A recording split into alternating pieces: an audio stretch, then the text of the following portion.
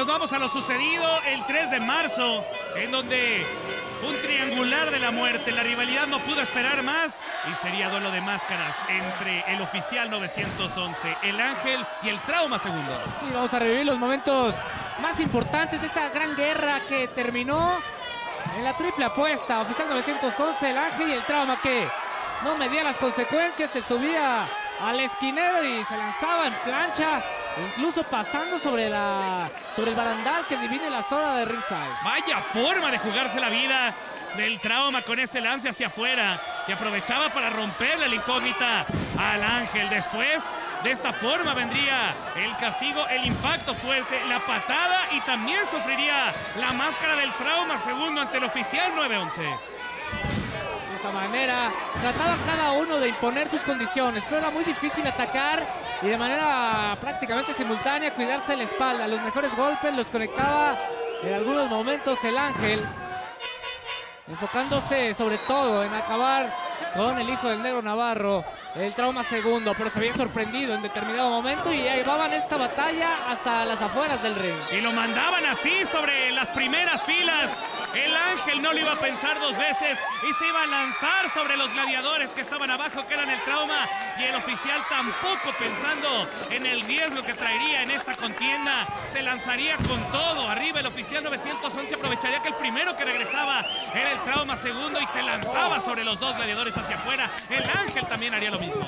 Esta es una guerra en la que todos tenían que salvar la incógnita y ahí con ese bombazo, el oficial 911 mandaba a la lucha ya definitiva máscara contra máscara al trauma segundo. Spanish Fly parecía que con esto podía quedar fuera el ángel, pero reaccionaba, doble rodillazo sobre el pecho y la victoria iba a ser para el oficial 911 y el duelo máscara contra máscara sería entre el trauma segundo y el ángel y así comenzaría con esa sorpresa el contacto fortísimo, las patadas y llegarían incluso hasta fuera del cuadrilátero. El lado más rudo del Ángel se hizo presente en la arena Naucalpan, se fueron a la esquina fría, máscaras rotas, ya la golpiza estaba a todo lo que daba y miren el detalle del Ángel, tomaba una botella. ¡Qué botellazo le daba!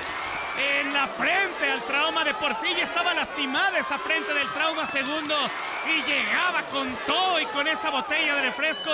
En lo que iba a ser una lucha ya muy difícil por la manera de ser castigado el trauma, no solo por el botellazo, sino que también regresaba el oficial 911. Sí, la mayoría de la afición estaba apoyando al trauma segundo. 911 quería destruir al trauma.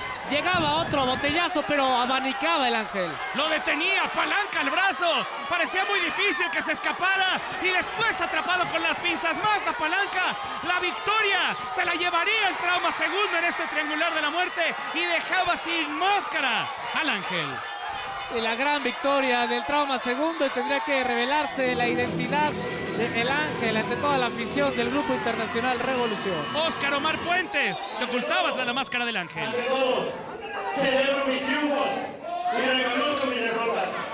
Y hoy fuiste superior a mí. Y me alegra perder no contra un grande, pero estás en proceso de serlo. Y no solo, y escúchalo, no solo te doy mi máscara, también te ofrezco mi mano. Todo lo que hizo posible esta máscara a los hermanos Trauma todos ustedes. Este mete con Trauma se mete con todos. Felicidades a la dinastía de la muerte, un trofeo más para el trauma segundo. Ahí cae la máscara del ángel que ahora tendrá que luchar sin ella. Gran, gran victoria para el trauma segundo.